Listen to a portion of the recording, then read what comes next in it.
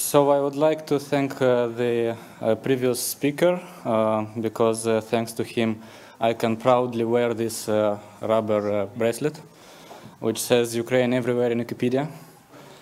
And I have this privilege because I, I actually participated into um, Ukrainian Diplomacy Month. All right. So I will tell you about a idea uh, that we had in Moldova, uh, and it was done in order to um, capture more participants for Wikiloves X type projects. So there is, you've maybe you've seen people who uh, go on their bicycles uh, in um, faraway places, like uh, let's say 50 kilometers or more.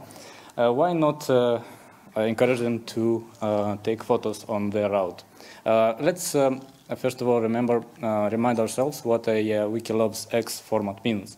Um, be it monuments or, or earth or folklore, um, we usually have a systematized registry of um, of um, let's say monuments um, and the format is a uh, is an online uh, photo contest. Uh, usually the judges uh, will select the most beautiful photos, but um, we Wikimedians, especially those that have the completeness um, um, um they, that that enjoy to see completeness, uh, they would like to see uh, um, even mediocre images um, instead of no images at all in, uh, in articles. Um, and uh, that brings us to the fact that uh, in these uh, lists of, uh, for example, monuments, there are monuments that are um, maybe they are not spectacular uh, or uh, they are located um, outside tourist spots or they are simply unreachable by by car. In here come um, bicycle tourists. this is where they can help and how? Through gamification.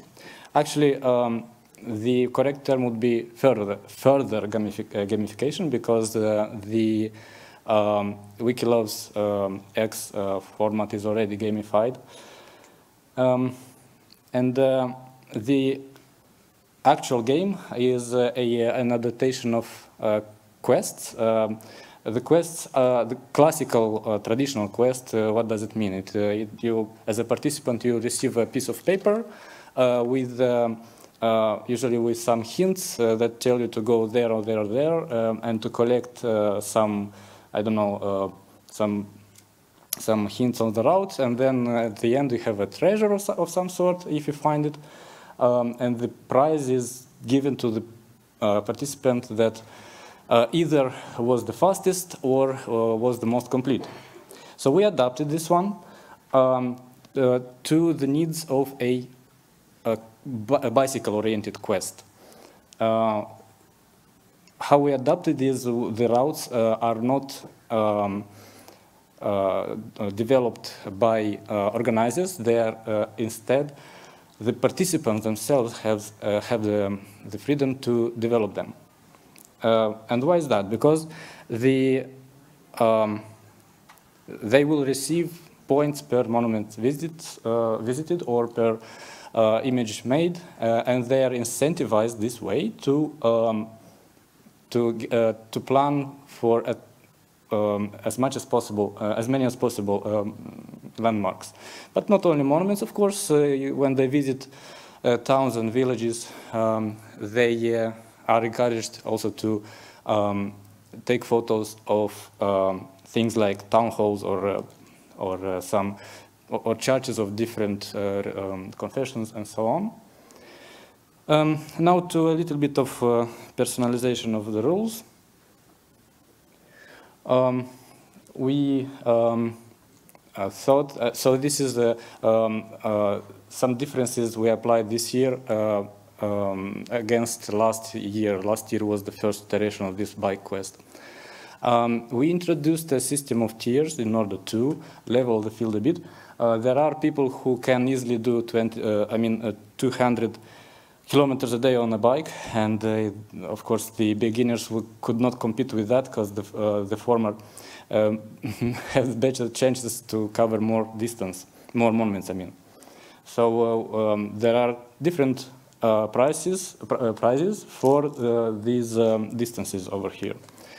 And also um, we um, compensate any, not any, I mean to the limit of 10 US dollars or so, um, we compensate uh, expenses they have on food, uh, foods and refreshments uh, on the road. And starting this year, to transport as well. So um, the use case would be that maybe someone wants to uh, travel by train uh, to reach uh, the start of their planned route.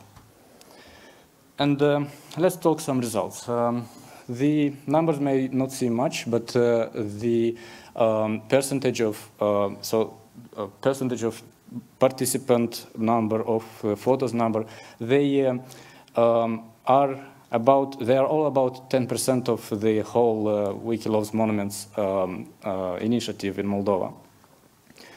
And uh, for, um, so yeah, we have three uh, participants basically who uh, uploaded 137 photos covering 50 distinct landmarks.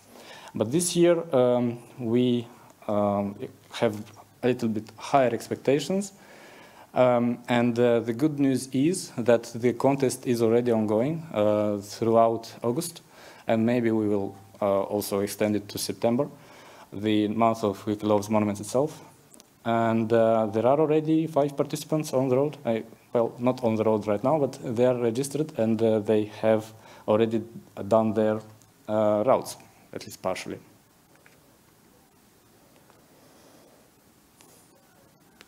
Come on. So yeah, I have no particular conclusions, just wanted to share a neat idea. And I'm open for a question or two. And uh, afterwards, I have a poster on poster sessions uh, where we can talk about this in more detail.